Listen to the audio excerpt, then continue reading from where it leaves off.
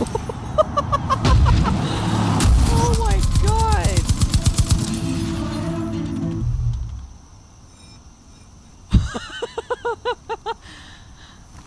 I've never seen that happen before.